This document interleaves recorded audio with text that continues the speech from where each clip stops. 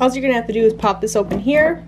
Now this right here is what you're going to want to take out. So you're gonna twist it counterclockwise. You're gonna wanna lay down some towels or get a bucket or something because once you pull this out, all that water is gonna drain out.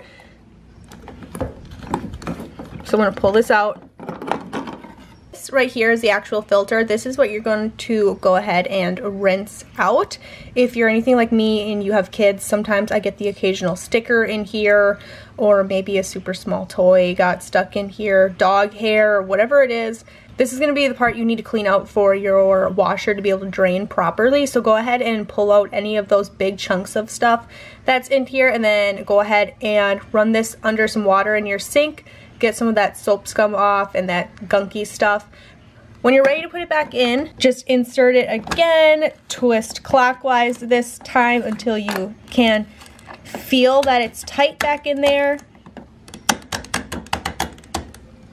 Go ahead and close this and you're ready to go.